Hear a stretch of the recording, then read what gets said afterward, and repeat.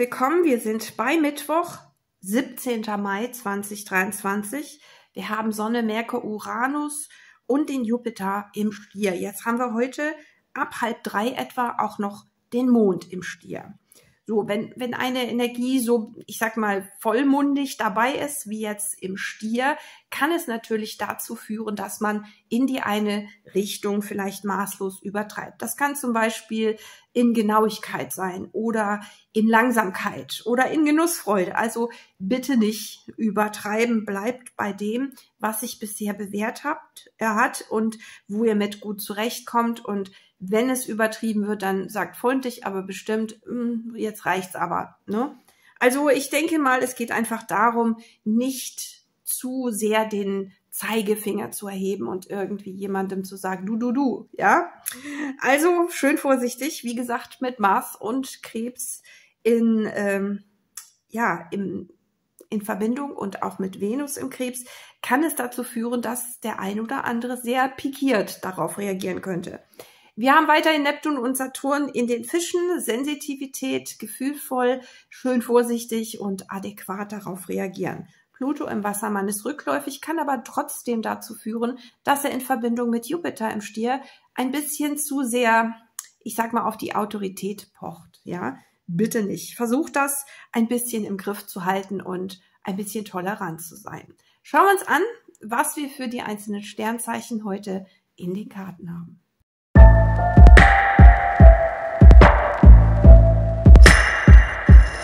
Ein herzliches Willkommen, mein lieber Widder. Wir sind bei Mittwoch, der 17. Mai 2023. Sonne, Merkur, Uranus und Jupiter im Stier. Geballte Erdenergie, ja. Wir haben natürlich den Mond auch noch im Stier, aber erst ab kurz vor halb drei, also ungefähr halb drei.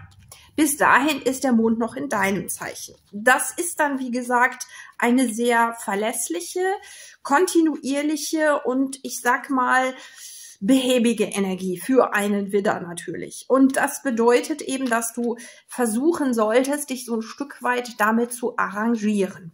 Wir haben Mars und Venus im Krebs, sehr gefühlvoll, sensitiv, empfindsam. Es bringt also nichts, irgendwie gegen die Windmühlen anzukämpfen, sondern ich sag mal, man kann durch Leistung oder durch gute Argumente natürlich vorankommen und durch Charme, Entgegenkommen, Freundlichkeit. Damit kannst du die Dinge natürlich noch verändern oder dich einbringen auf jeden Fall. Wir haben den Pluto im Wassermann rückläufig, das heißt Macht- und Ohnmachtspielchen sollten weitestgehend, äh, ich sage jetzt mal, ruhig bleiben. Also da passiert nicht so viel. Ähm, ja, wir haben, ich guck mal gerade, ob wir noch irgendwas haben. Ähm, bisschen übertrieben werden kann es in die eine oder andere Richtung schon noch mit äh, dem rückläufigen Pluto, aber da sollte man sich vorhüten. Wir haben Neptun und Saturn in den Fischen, sehr freundliche, liebevolle, entgegenkommende Energie, aber man sollte sich natürlich nichts vormachen und anderen auch nicht. Also es ist schon wichtig, dass man auf dem Teppich bleibt. So, was haben wir für den Widder? Zurückhaltung ist wichtig zwei der Schwerter, sieben der Stäbe. Man hat so natürlich seinen eigenen Standpunkt äh, und man möchte diesen auch nach Möglichkeit durchsetzen. Es sollte aber, wenn du irgendwas hast, was du durchsetzen möchtest, dann wirst du das nicht durch Feuerenergie, sage ich mal, hinbekommen. Äh, ich denke eher durch Gespräche. Ja, wir können natürlich versuchen zu überzeugen, aber wir sollten das nicht zwanghaft tun, sondern eben gemäßigt. Ja, Zurückhaltung. Wir haben die sieben der Stäbe, der Standpunkt, der Ritter der Stäbe, der achte Stab für die Kommunikation. Aber wir sollten uns keinen Illusionen hingeben. Also ich sage jetzt mal, jemanden zu versuchen zu überreden, ähm, funktioniert nicht, indem man auf jemanden einredet zum Beispiel oder indem man das in den tollsten Farben malt, sondern da müssen Fakten auf den Tisch, ja, klare, ehrliche, aufrichtige Fakten. Wenn das funktionieren soll, dann muss auch Ehrlichkeit dabei sein, aber eher Zurückhaltung hier. Man sollte wirklich in dieser Form nicht übertreiben. Also halte dich da ein bisschen zurück. Vielleicht kannst du mit der Zeit andere überzeugen, aber nicht, äh, ja, ich sag jetzt mal, durch äh, Drangsalierung oder äh, versuchen, jemanden dorthin zu drängen. Das wird nicht funktionieren. Illusionen sind hohe Ansprüche. Du musst deine Ansprüche auch entsprechend ein bisschen zurücknehmen. Ich wünsche dir aber einen schönen Mittwoch und wenn du magst, sehen wir uns morgen wieder.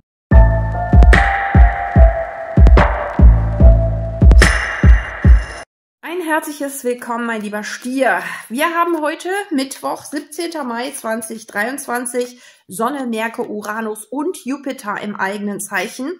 Da fühlt man sich wie der King oder die Königin, die Queen, äh, vorsichtig. Ja, nicht zu so hastig vorgehen. Wir kriegen auch noch um halb drei den Mond in Stier das kann auch übertrieben werden. Und äh, bis dahin ist der Mond im Widder, feurige, temperamentvolle Durchsetzungskraft, Führungsqualitäten, aber bitte nicht zu stur, nicht zu eigenwillig und vielleicht auch nicht zu überheblich, ja. Wenn irgendwie die Dinge gut laufen, dann soll man glücklich sein, zufrieden sein darüber, aber man soll dann nicht noch mehr fordern.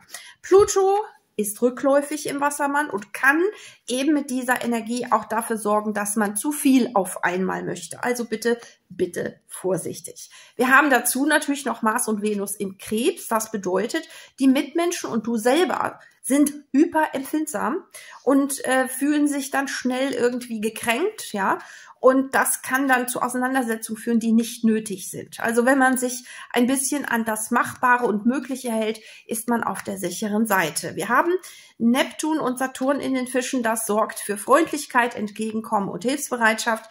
Aber das sollte man natürlich nicht überstrapazieren. Was haben wir jetzt für den Stier? Der Eremit. Die Jungfrau-Karte bedeutet, die Dinge müssen erst gut überlegt werden. Was will ich eigentlich? Wo will ich hin? Wie kann ich das machen? Wo sind die Stärken? Wo sind die Schwächen? Eine hastige, unüberlegte Handlung führt dazu, dass du andere gegen dich einnimmst, ja? Oder eben auch umgekehrt natürlich. Wenn andere dich bedrängen, dann wirst du auch eher dagegen sein. Wir haben einen leidenschaftlichen Neubeginn und das kann natürlich sein, dass da Dickköpfe aufeinandertreffen, ja. Ähm, und dass beide Seiten vielleicht auch gute Pläne haben, gut überlegt dastehen und dann ist das vielleicht so eine Pattsituation. Also bitte keine voreiligen Dinge. Es kann überraschend zu einer Lösung kommen, wenn man pragmatisch daran geht, also ruhig bleibt auch nicht irgendwie, sagen wir mal, zu bestimmend ist, ja, oder zu stur auf seinem Standpunkt oder ihrem Standpunkt beharrt.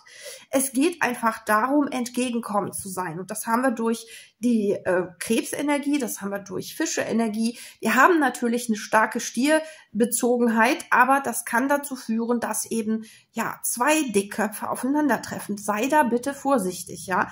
Das kann sowohl für dich schlecht ausgehen als auch für dein Gegenüber. Deswegen ist Bedächtigkeit und Vorsicht so das, was du heranführen solltest, ja. Sonst äh, ziehen sich nachher beide in ihre Ecken zurück und es passiert gar nichts. Also bitte, bitte ruhig bleiben. Ich wünsche dir einen schönen Mittwoch und dann sage ich mal bis morgen.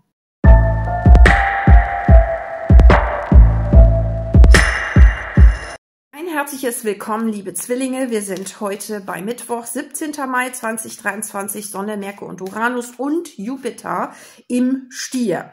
Nun, das ist eine sehr ähm, ja, ich sag mal, ausgefüllte Erdenergie, Pragmatismus, Erdenergie, Genauigkeit, Verlässlichkeit, aber auch Sinnesfreude. Also man kann auch, ich sag mal, in so eine Faulheit hineingeraten, wenn man nicht aufpasst. Wir haben den Mond erstmal im Widder. Um halb drei wechselt der auch noch in den Stier. Und ähm, ja, man sollte eben nicht sagen, ähm, so nach dem Motto, na dann eben nicht, dann mache ich eben gar nichts mehr. Das ist so die Attitüde, die der eine oder andere bei dieser Energie aufbringen kann. Und das wäre nicht wirklich gut. Äh, wir haben auch noch Neptun in den Fischen, was dich auch beeinflusst als Zwilling. Auch das sollte dich dazu nicht hinleiten, dass du dich dann irgendwie gefühlsmäßig ab nabelst und gar nicht mehr interessierst und äh, vielleicht zurückziehst, wäre nicht gut. Wir haben Mars und Venus im Krebs. Da geht's um Gemeinschaft. Da geht's um das Kollektiv, miteinander auskommen. Aber es geht auch um Sensitivität, dass jeder so seine Eigenarten hat und äh, dass jeder auch so ein bisschen dünnhäutig ist. Also es ist ein bisschen riskant. Man sollte langsam machen, ja, aber man sollte natürlich auch versuchen, voranzukommen und im Gespräch zu bleiben. Mit Pluto kann es dazu führen, dass der eine oder andere auch ein bisschen übertreibt. Okay, vorsichtig also bitte, ja? Was haben wir für den Zwilling? Wir haben das Team, die Gruppe, Kollegen oder Familie, die Unzufriedenheit, die vier der Kelche und den Erfolg. Okay ich sag mal, man kann ja was verändern und erfolgreich sein, indem man unzufrieden ist. Wenn alles super läuft, dann will man ja auch gar nichts verändern, weil es eben gut läuft. Aber wenn man nicht zurechtkommt, dann sollte man versuchen, daran zu gehen. Und mit den fünf der Stäbe haben wir natürlich auch eine Nervosität, einen Wettbewerb, aber das kann das Ganze natürlich auch positiv beeinflussen, dass man sich gegenseitig so ein bisschen spielerisch aufzieht, sage ich jetzt mal, ne? oder so, so ein bisschen den Wettbewerb hervorruft. Also sich miteinander zu messen, im positiven sportlichen Sinne gemeint, kann natürlich dazu führen, dass man bei aller Unzufriedenheit noch irgendwie ein gutes Ergebnis erzielt. Und dabei kannst du natürlich mitmachen. Lass dich nicht davon nervös machen, dass alles immer noch sehr langsam geht. Mit der Erdenergie wird es auch nicht viel schneller. Aber es ist wichtig, dass du deine Unzufriedenheit, sage ich mal, jetzt nicht in Wutausbrüchen austobst, sondern indem du den Ehrgeiz entwickelst, die Dinge anzugehen. Wir haben ja auch, wenn wir das hier ja mal sehen, wir haben da natürlich auch diese Handhabung, dass man also die Dinge angeht, ja und äh, dass man nicht nur untätig da sitzt oder sich vielleicht zurückzieht, ja, man ist vielleicht nicht zufrieden, aber man kann durch diesen gegenseitigen Wettbewerb so ein bisschen was nach vorne pushen. Und das solltest du heute auf jeden Fall versuchen. Ich wünsche dir dabei ganz viel Erfolg, gutes Gelingen und wenn du magst, sehen wir uns morgen wieder.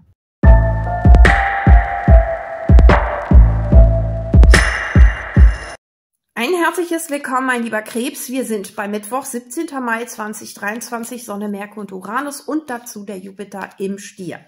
Das ist erstmal für den Krebs eine schöne Energie, weil geerdet, äh, man will verlässlich sein, langfristig planen, das, was man hat, festhalten. Da diese Energie jetzt enorm stark vertreten ist mit Stierenergie, kann das auch zu viel des Guten sein. Also, dass man zum Beispiel zu sehr hortet oder ich sag jetzt mal zu langsam ist, ja.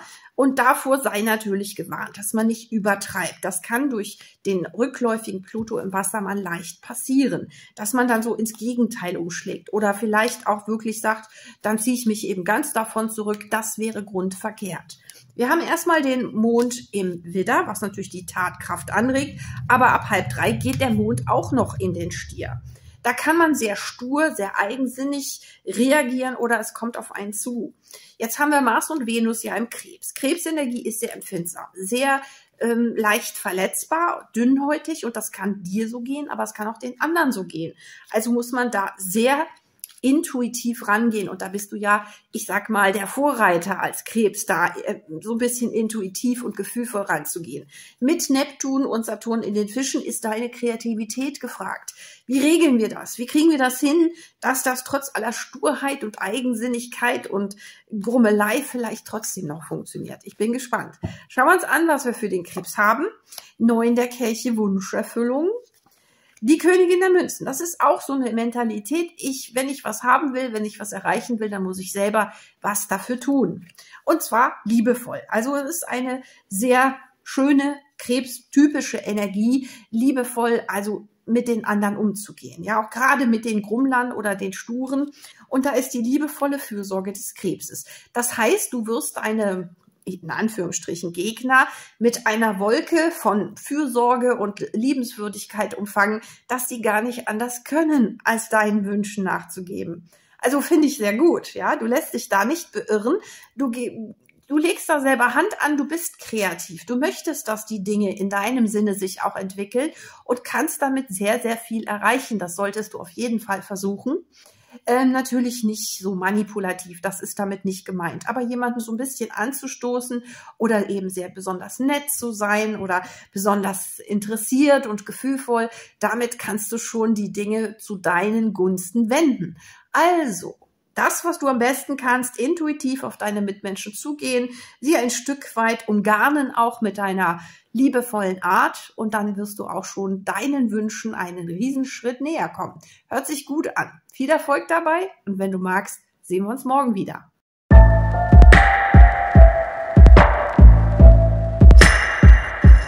Ein herzliches Willkommen, mein lieber Löwe. Wir sind heute bei Mittwoch, 17. Mai 2023. Sonne, Merkur und Uranus im Stier. Jetzt auch noch Jupiter und ab halb drei auch noch der Mond. Das ist ein bisschen sehr viel Erdenergie und es kann natürlich auch übertrieben werden. So, als Löwe ist das so gar nicht dein Ding. Der Mond ist erstmal noch im Widder bis halb drei. Das spornt dich an, aber du merkst, dass du irgendwie, ich sag mal, vor Betonköpfe stößt oder auf Betonköpfe stößt. Ähm, kann natürlich auch ein bisschen deine eigene Sturheit beinhalten, je nachdem. Aber es geht darum, trotzdem nicht aufzugeben und sich nicht zurückzulehnen und beleidigt in die Ecke zu verkrümeln. Wir haben ja noch den Mars und die Venus im Krebs, ähm, dass man eben sehr dünnhäutig ist und dann so ein bisschen, ja, ich sag mal, Klappe zu, Affe tot macht. Das wäre nicht so gut, ja. Wir haben Pluto im Wassermann rückläufig, der aber auch vor Übertreibungen warnt. Also in die eine wie in die andere Richtung. In dem Fall würde ich jetzt ähm, aufpassen, dass ich nicht ins Nichtstun verfalle oder in, in Schmollen. Ja, das wäre nicht so gut. Ja, wir haben eine schöne Energie mit Neptun und Saturn in den Fischen. Auch Krebsenergie ist sehr vorteilhaft, wenn man seine Intuition nutzt, wie man irgendwie doch noch ich sag mal, die Dinge in Bewegung bringt. Was nicht ganz leicht ist, aber es bedarf natürlich einiges an Feingefühl. Was haben wir? Der Mond, ein ungutes Gefühl oder irgendwas kommt hoch.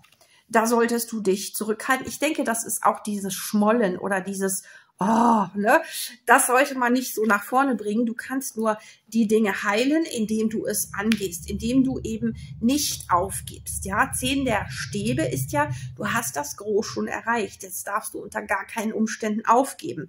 Auch wenn dein Gefühl dir sagt, ich renne gegen Windmühlen an, ja. Ich bin zurückhaltend. Ich sorge für Heilung, indem ich nämlich nicht locker lasse, aber indem ich auch aufpasse mit den zwei der Schwertern, dass ich weder verbal noch irgendwie anders übertreibe. Ich mache mein Ding. Ja, und damit komme ich auf jeden Fall voran. Und ich versuche eben diese unguten Gefühle ein bisschen, ja, nicht wegzudrängen. Das ist nicht damit gemeint, aber eben nicht zu wichtig zu nehmen, zu dramatisch zu reagieren oder ich sag jetzt mal, zu übertreiben mit dem Schmollen oder so, ja. Ich bleibe bei dem, was sich bewährt hat und ich schaffe das dadurch, dass ich dranbleibe.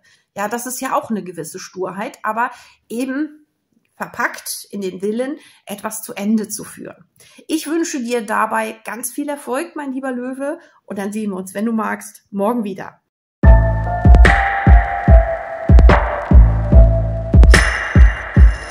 Ein herzliches Willkommen, liebe Jungfrau. Wir sind heute bei Mittwoch, 17. Mai 2023. Sonne, Merkur, Uranus und Jupiter im Stier natürlich für die Jungfrau als Erdenergie sehr von Vorteil. Wir haben ab halb drei auch noch den Mond im Stier.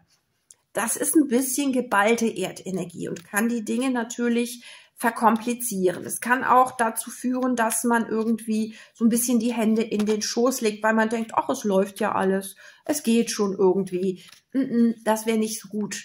Lass dir da auch von Neptun nichts einreden. Neptun in den Fischen kann deine Gefühle dazu bringen, dass du denkst, ach, ist mir egal oder ich kümmere mich jetzt nicht, das läuft sowieso. Nein, das sollte man nicht tun, denn es ist wichtig, im Miteinander, auch gerade mit Mars und Venus im Krebs, im Kollektiv die Dinge nicht schleifen zu lassen. Das heißt aber nicht, dass du mit erhobenem Zeigefinger anderen sagst, das darfst du nicht und das sollst du nicht, sondern dass du eben mit anderen gemeinsam an den Zielen weiter festhältst. Der Pluto im Wassermann kann dazu führen, dass man in die eine oder andere Richtung auch ein wenig übertreibt. Das sollte man nicht tun. Ein gesundes Maß ist wichtig, aber auch, dass man selber, sagen wir mal, Gefühl und Intellekt so ein Stück weit im Griff hat. Ja, ich weiß, nicht ganz leicht, aber machbar auf jeden Fall. Bis halb drei haben wir den Mond im Widder und da ist der Kampfgeist auf jeden Fall da. Was haben wir für die Jungfrau? Der Wagen den Wagen in der Spur halten, also die Fahrtrichtung nicht ändern. Eigenliebe, sich um sich selbst auch kümmern. Wie fühle ich mich dabei? Was tut mir gut? Was kann ich gut? Ja, die schnelle Energie ist es auch nicht, dass man jetzt richtig den Turbo anwirft. Das wäre auch nicht so richtig gut. Aber dass man eben auch nicht ganz aus dem Tritt kommt. Also zu viel ist nicht gut, zu wenig ist auch nicht gut. Also muss man sich drum kümmern, das richtige Tempo vorzulegen. Das beinhaltet natürlich auch eine gewisse Sensitivität, dass man sich auf seine Mitmenschen einstellt, dass man weiß, was man selber möchte. Man darf sich auch im Vorfeld, sagen wir mal, gesunde Grenzen setzen. Bis dahin gehe ich und nicht weiter. Aber es ist wichtig, dass das Gefährt trotzdem noch weiter sich fortbewegt, ja, erfolgreich und dass man weder zu schnell noch zu langsam fährt. Denn das beides kann auch beim Autofahren zum Beispiel Gefahren bergen. Und deswegen heißt es sich liebevoll darum kümmern, dass die Dinge am Laufen bleiben, ohne zu übertreiben, wie gesagt, äh, den Besserwisser herauszukehren oder auch denjenigen, der alles schleifen lässt. Also ein gesundes Maß ist hier auch, was die Fürsorge betrifft, auch im zwischenmenschlichen Bereich, außerordentlich wichtig. Und dazu gehört natürlich auch die Selbstfürsorge, wie ich mit mir selber umgehe. Also habe nicht zu viel Ehrgeiz, nicht zu wenig Ehrgeiz, versuche das Ganze so am Laufen zu halten, wie es gerade läuft und dich weder durch andere noch durch eigene Intentionen irgendwie davon abbringen zu lassen. Aber liebevoll, ne? liebevoll fürsorglich. Ich wünsche dir viel Erfolg dabei, gutes Gelingen und wenn du magst, sehen wir uns morgen wieder.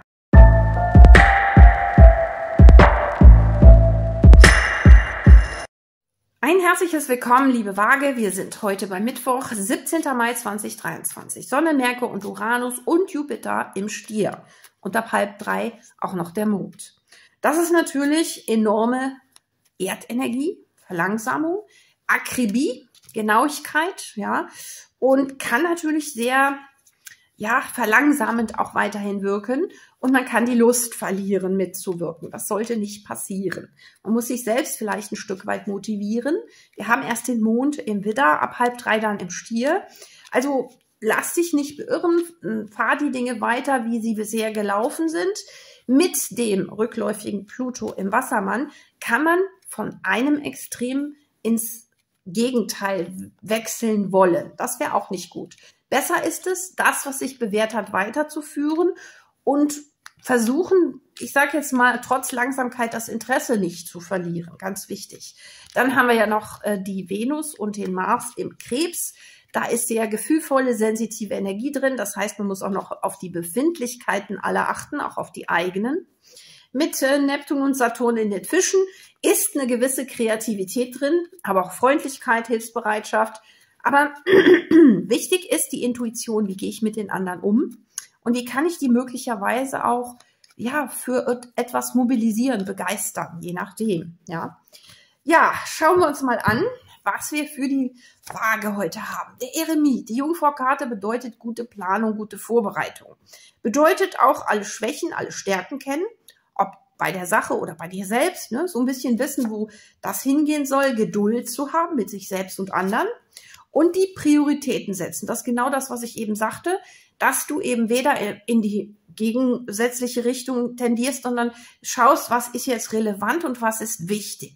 Wenn du das auf den Weg gebracht hast, darfst du gerne zuschauen, wie sich die Dinge entwickeln. Du darfst dich dann zurücklehnen und auch ein bisschen, naja, die Füße hochlegen. Das ist ja auch so nicht gemeint. Aber die Dinge müssen natürlich auf den Weg gebracht werden. Mit Geduld, mit Empathie, ja.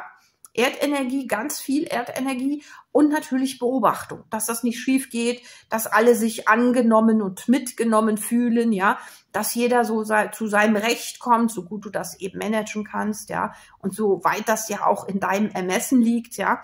Wichtig ist beobachten, zuschauen, wie die Dinge laufen und ich denke auch gegebenenfalls, wenn etwas ja, ich sag mal, ähm, schleifen gelassen wird, auch mal zu sagen, hey, komm, wir machen das und ich bin dabei und so. So ein bisschen Motivation gehört dazu, auch wenn es jetzt gerade nicht so schnell geht. Aber positive Attitüde, das ist ja auch der Erfolgsgarant. Ich wünsche dir auf jeden Fall einen schönen Mittwoch, liebe Waage. Und wenn du magst, sehen wir uns morgen wieder.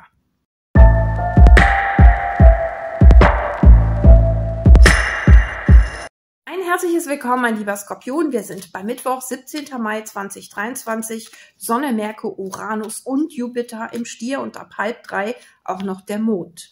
Da fühlt sich alles so ein bisschen, ja, ich sag mal, gemäßigt an. Man möchte oder man ist geneigt, mehr zu ähm, genießen, anstatt sich wirklich einzusetzen. Der Ehrgeiz könnte ein bisschen brach liegen. Ja, könnte sein. Man sollte sich davon nicht beirren lassen. Man sollte schon die Dinge weiterführen und sich kümmern. Ja, ähm, du bist ja auch äh, Wasserenergie mit Mars und Venus im Krebs. Kann das eine sehr schöne Zeit sein. Das sollte dich aber nicht davon abhalten, deinen Pflichten natürlich nachzukommen oder diese gar zu vernachlässigen. Äh, mit Saturn und Neptun in den Fischen ja, Hilfsbereitschaft, Entgegenkommen, Freundlichkeit sind wichtig, Intuition auch natürlich. Pluto im Wassermann rückläufig kann dazu führen, dass man von einem Extrem ins Gegenteil wechselt. Und deswegen bleibe besser dabei, was sich bisher so gut angefühlt hat, führe das fort und versuche nicht irgendwie auszubrechen in die eine oder andere Richtung. Das wäre so mein ja, Hinweis, ja. Schauen wir uns an, was wir für den Skorpion haben. Beziehungen sind wichtig, natürlich. Und Disziplin, ja. Auch ähm, sich um vielleicht Leute zu kümmern, ja. Und äh, Detailfragen zu klären. Also es muss schon auch klar sein, wer hat was zu tun, wer kümmert sich um was. Ich denke, es geht um gesunde Absprachen, Abstimmung mit den Leuten, ob jetzt im Beruf, privat, wie auch immer. Ähm, halte dich daran, äh, was wichtig ist und versuche eben anderen auch mitzuteilen, was du vorhast oder wie du das ja, mit dem anderen oder mit den anderen machen möchtest, was dir wichtig ist, was noch getan werden muss, ja. Es ist wichtig, dass man da in Kommunikation bleibt, um Dinge eben in die richtige Richtung zu bringen, um den Neuanfang, das, was vor einem liegt, auch zu erreichen. Das heißt, man darf nicht nachlassen. Man muss sich aber eben auch um naja, Detailfragen, Kleinigkeiten kümmern, vielleicht auch ein Auge drauf haben, dass da nichts vergessen wird, sage ich jetzt mal. Und wenn du das dann so gemanagt hast, auch mit deinen Leuten, dann wirst du natürlich auch Zeit haben zu genießen, auf jeden Fall, gar keine Frage.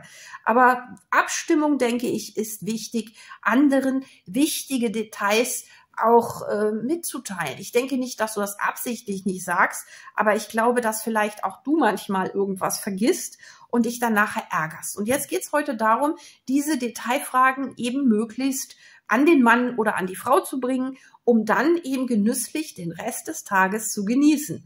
Und das sollte man natürlich dann beachten. Ich finde das schön. Ich finde das eine gute Sache, dass man sich überlegt, was habe ich noch zu erledigen. Wenn ich das erledigt habe, dann gönne ich mir auch ein bisschen Freizeit, schöne Zeit und dann bin ich frei von den Verpflichtungen. Aber die müssen erst erledigt sein. Ich wünsche dir dabei gutes Gelingen, viel Erfolg und wenn du magst, bis morgen.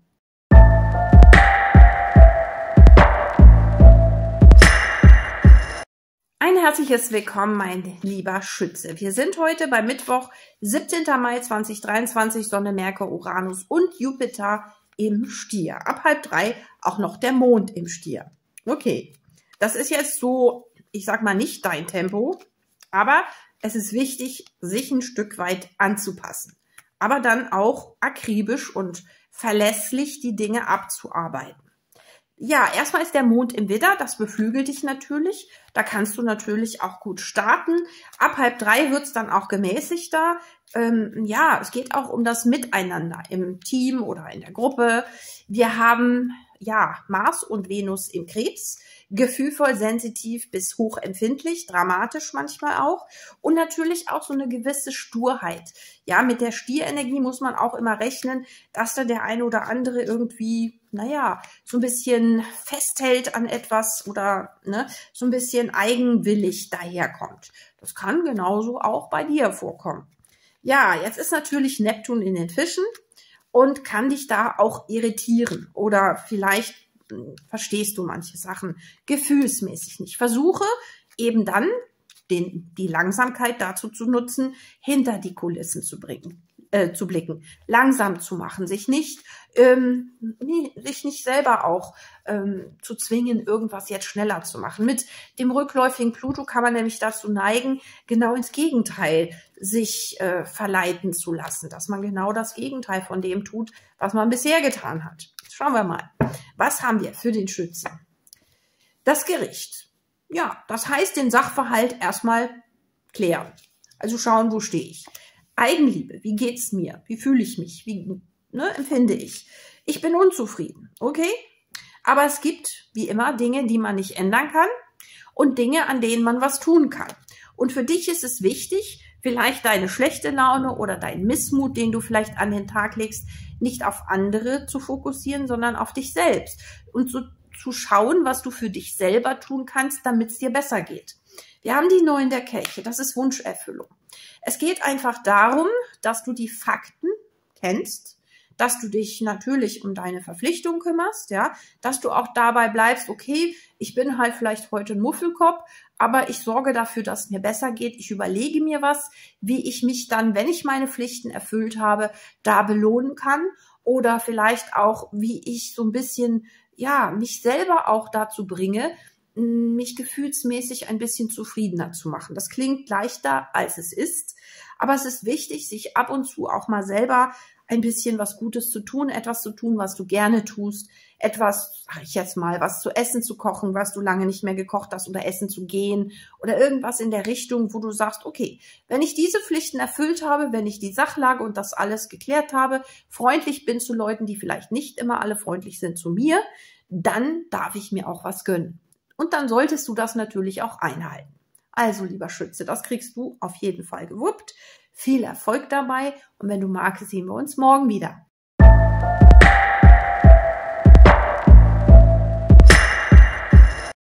Ein herzliches Willkommen, mein lieber Steinbock. Wir sind bei Mittwoch, 17. Mai 2023, Sonne, Merkur, Uranus und Jupiter im Stier und ab halb drei auch noch der Mond im Stier. Okay, Steinbock-Energie ist auch Erdenergie, aber ich sage jetzt mal, zu viel Erdenergie kann auf der einen Seite zu, ja, ich sage jetzt mal Selbstüberschätzung führen oder dass man das Gefühl hat, man hat alles getan und man lässt die Dinge jetzt einfach, ja, laufen. Ähm, es kann dazu führen, dass man vielleicht auch ein bisschen zu stur, zu, naja, besitzergreifend sein kann mit der Stierenergie. Denn auch Pluto im Wassermann rückläufig kann dazu verführen, dass man so, ich sag mal, sehr extrem wird in diesem Bereich. Also ins genaue Gegenteil umschlägt oder irgendwie die Dinge anders angehen will. Also irgendwie so ein bisschen aus der Art schlägt und das kann riskant sein. Denn wir haben Mars und Venus im Krebs. Das heißt, die Mitmenschen, genauso wie man selbst, ist ja sensitiv. Ne? Die Energie ist sensitiv. Äh, man darf natürlich seine Intuition nutzen, um zu schauen, wie die Lage ist wie die anderen das sehen und wie man selber darauf reagiert. Aber man sollte natürlich nicht dramatisieren und übertreiben. Wir haben bis halb drei den Mond im Widder. Da ist auch Eigensinn drin, Durchsetzungskraft, aber auch, ich sag mal, Ermutigung und äh, Elan. Ne? Mit der Stierenergie ist das so ein bisschen träger, ein bisschen müder. Aber es geht auch um Genuss. Man kann so ein bisschen in die Genussfreude umschwenken, ja. Und die anderen können auch so ein bisschen das Gefühl haben, ach, jetzt brauche ich nichts mehr tun. Ähm, schauen wir mal. Also, wir haben auch noch sensitive Energien mit äh, Neptun und Saturn, Freundlichkeit entgegenkommen, aber eben, wie gesagt, nicht übertreiben. Weder in die eine noch in die andere Richtung. Also, du willst etwas beenden, hinter dich bringen mit der Welt. Liebevolle Fürsorge, das ist sehr schön. Sich kümmern ist immer gut, ja. Und dann haben wir die Kommunikation. Das heißt, ein paar liebe Worte schaden auch nicht. Das ist sehr schön. Also man ist freundlich, entgegenkommt, man hat auch nichts gegen liebe Worte, die einem begegnen. Und dann haben wir die Sechs der Schwerter, Entspannung. Sehr gut. Wenn du das hinter dich gebracht hast, wenn du mit Leuten eben auch liebevoll in Konsens getreten bist oder vielleicht auch ein paar nette Worte ausgetauscht hast und vielleicht auch ein paar gute Gespräche dann führst, dann darfst du auch gerne entspannt mit anderen quatschen oder irgendwie dich austauschen, darfst dich auch ähm, meinetwegen in den Sessel zurücklehnen und genießen. Das ist ja auch so, wie es sein sollte. Man sollte halt nur nicht übertreiben, dass man entweder zu stur ist und, und jetzt äh, ums Verrecken eben die Dinge zu Ende bringen will. Man darf auch nicht ich sag mal, die Fürsorge übertreiben, dass man jemanden überreden will oder hm, ja, irgendwo hinschubsen will, wo er oder sie nicht hin will. Und die Kommunikation sollte auch entspannt bleiben und ganz relaxed. Und es bedeutet ja nicht nur, dass einer redet, sondern dass man ja miteinander redet und einander auch zuhört. Also solange das auf einem gesunden Maß ist, kannst du den Tag wirklich sehr erfolgreich beenden. Ich wünsche dir dabei viel Erfolg, gutes Gelingen und wenn du magst, bis morgen.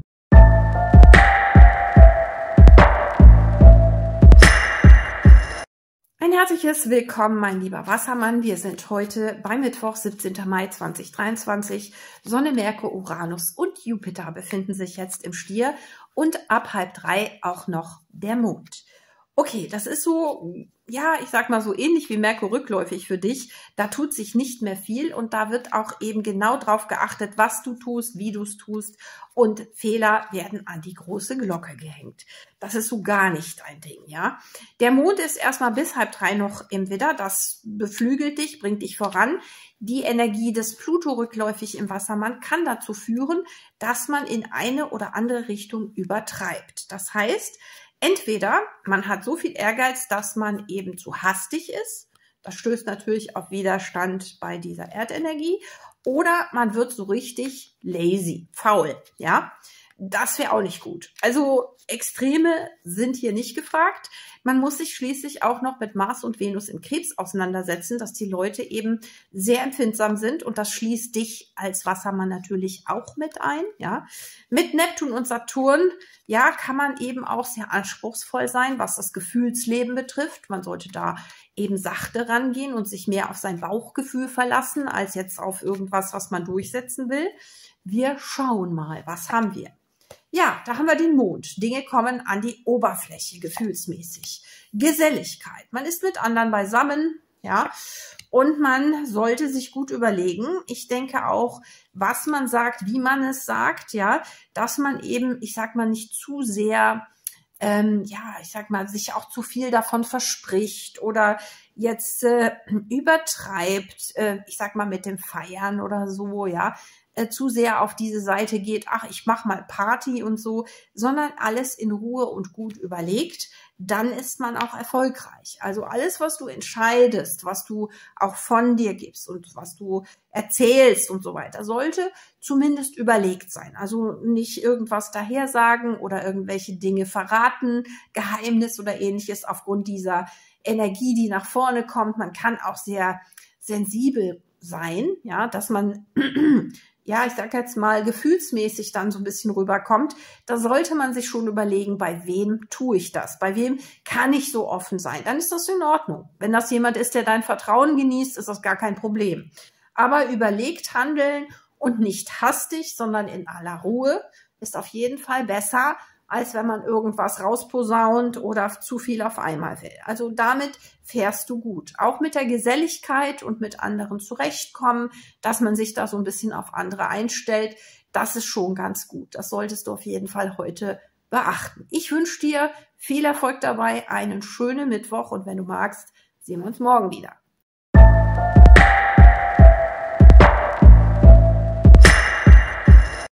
Herzliches Willkommen, liebe Fische. Wir sind heute bei Mittwoch, 17. Mai 2023. Sonne, Merkur, Uranus, Jupiter und ab halb drei auch der Mond im Stier. Okay. Geballte Erdenergie. Auf der einen Seite ganz gut, auf der anderen Seite kann das schon enervierend sein, weil es um Verlässlichkeit geht. Da achtet jeder auch auf die Fehler des anderen und das kann schon nerven. Und ähm, ja, es ist so ein bisschen Beamten-Mikado. Ja? Wer sich zuerst bewegt hat, verloren. Also so, ich sage jetzt mal, auf der einen Seite möchte man die Dinge akribisch machen, man kann aber auch darin verfallen, dass man sich so in Kleinigkeiten verliert, dass man nicht mehr vorankommt. Also davor sei gewarnt, auch mit Pluto im Wassermann rückläufig, der eben zu Übertreibungen verführen kann. Wir haben den Mars und die Venus im Krebs. Wir haben Saturn und Neptun in den Fischen. Das ist wieder eine sehr wohlige, schöne Energie für die Fische, wo man eben sich auch heimisch fühlt und gut aufgehoben. Das ist ja schon mal schön. Aber deswegen sollte man natürlich auch seine ja, Verpflichtungen und Dinge nicht vernachlässigen. Das ist ganz wichtig, denn die Leute und auch du, wir sind alle sehr empfindsam mit der Krebsenergie. Schauen wir uns an, was wir haben für die Fische. Die Liebenden. Also aus dem Gefühl heraus die Unzufriedenheit, die vier der Kelche und die acht der Kelche. Also es kann sein, dass du jetzt für dich entschließt, wenn das alles hier nicht klappt, dann setze ich alles auf eine Karte und gehe völlig neue Wege. Das ist diese Übertreibung, von der ich eben sprach mit Pluto Wassermann. Und das hinterlässt ein ganz schales Gefühl, wenn du das umsetzt, ja, weil du das Gefühl hast, oh Gott, jetzt kann ich nicht mehr zurück. Deswegen ist es ganz wichtig, bevor du irgendetwas tust, vergewissere dich, dass das, was du tust und entscheidest, Hand und Fuß hat, dass die Leute in deiner Umgebung damit zurechtkommen oder frag die anderen, was sie von irgendwas halten, was du vielleicht umsetzen möchtest. Tu es nicht einfach aus dem Gefühl heraus, aus einer Laune heraus, ja, auch wenn du schlecht drauf bist. Ähm, es kann sein, dass du, wie gesagt, wir haben die Verdopplung der Vier der Kelche. Das bedeutet, dass du möglicherweise aus Frust oder aus Enttäuschung irgendwie ja ein bisschen dramatisch reagierst, also überreagierst. Und das, wie gesagt, ist dann vielleicht doppelt nicht so gut. Ja, also aus einer schwierigen Situation dann noch dramatisch zu reagieren, macht es nicht besser, sondern schlimmer. Und deswegen würde ich dir raten, bevor du etwas entscheidest, lass dir Spielraum. Ja, also keine hastigen ähm, aus, aus einer Lameng heraus getroffenen Entscheidung, sondern äh, lass sie einfach Bedenkzeit, ja, und, und äh, schmeiß nicht alles hin zum Beispiel oder so, sondern sag, ich muss darüber nachdenken, ich weiß im Moment nicht weiter oder so. Also nicht aus Stolz oder aus beleidigter Eitelkeit oder irgendwas über zu reagieren, wäre, glaube ich, nicht so gut. Also halte dich da an die Erdenergie. Viel Erfolg, einen schönen Mittwoch und bis morgen.